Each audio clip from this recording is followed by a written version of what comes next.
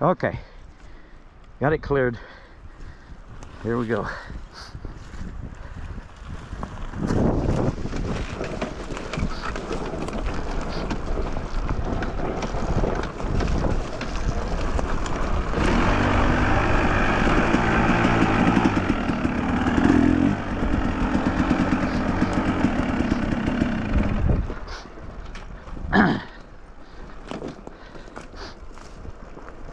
We're almost to the road now.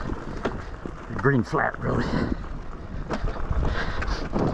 This is a little touchy coming up because you come up from the bottom, make that turn and hit this ledge. Better be careful. Loop it out. Has more traction than you would think.